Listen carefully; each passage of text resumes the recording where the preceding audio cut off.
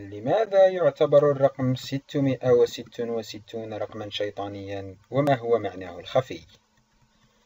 سمعنا جميعا عن الرقم سيء السمعة 666 والذي يشار إليه بغموض في العهد الجديد باسم عدد الوحوش. وبات يعرف في الفترة اللاحقة برقم المسيح الدجال. لكن ما سر هذا الرمز؟ هل الرقم المتناظر الذي بعث الخوف في قلوب الجميع لألفي سنة مضت أم أنه رقم أليس كذلك أم لا؟ يشرح الفتية في البرنامج التلفزيوني نامبرفيل بأن رقم 666 لا يتميز بأي خصائص رياضية ملحوظة لكن إذا بحثنا في تاريخه فسينكشف شيء مذهل حقا حول الطريقة الأصلية التي كتب بها الإنجيل وقد تبين أن ما نراه في سفر رؤيا يوحنا حيث يشير الكاتب لرقم 666 بصورة مروعة ليس هو ما قصد تماما. استخدم 666 ببساطة كرمز وليس بالضرورة رمزا مخفيا. فقد كتب ذلك النص أساسا باليونانية القديمة حيث كتبت الأرقام كحروف كما هو الحال في العبرية اللغة الرئيسية الأخرى لنصوص الكتاب المقدس الأصلية. بالنسبة للأرقام الصغيرة فقد مثلت الأحرف الأولى من الأبجدية اليونانية ألفا بيتا جاما الأرقام واحد واثنين وثلاثة. وكما في الترقيم الروماني فعندما نريد أن نشكل أرقام كبيرة مثل مئة وألف ومليون فهي تمثل بجمع الحروف الخاصة بها معا وهو ما يعني أن لكل كلمة قيمتها العددية. وبالعودة للكتاب المقدس حيث نقرأ بالإصحاح الثالث عشر من سفر رؤيا يوحنا هنا الحكمة من له فهم فليحسب من له فهم فليحسب عدد الوحش.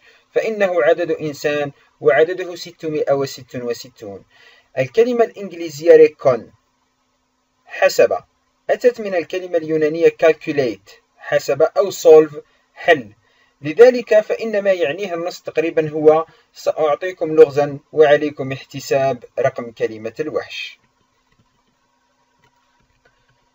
حسنا بالنظر إلى حالة الكراهية التي سادت بين المسيحيين الأوائل تجاه الإمبراطورية الرومانية وخاصة قائدها القيصر نيرون والذي اعتبر شريرا على وجه خاص فقد بحث العديد من المؤرخين عن إشارات في هذا النص من الكتاب المقدس والذي حتما لم يأتي من العدم وكان نتاجا واضحا لمجريات زمانه عندما نقرأ النص الأصلي فإننا نرى في هذا المقطع بأن الأرقام 666 كتبت بالعبرية.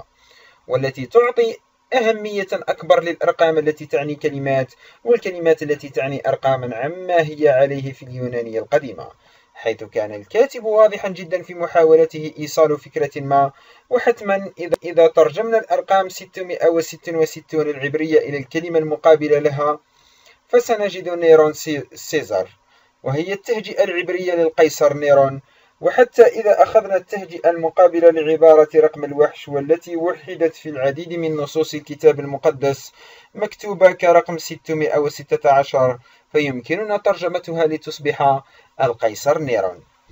يضيف هذا الأمر نوعا من اللغز والسر على التعقيد الأصلي للنص فحتما لا يريد أحدا أن يكتب كتابا تحت الإضطهاد الإمبراطوري ويقول فيه إن أساس كل الشر هو القيصر نيرون. وبالنهاية فعندما قلنا أن الرقم 666 لا يحمل أي خصائص رياضية واضحة فإن ذلك لم يكن صحيحا تماما لأنه يعرف في الواقع يعرف بالرقم المثلث.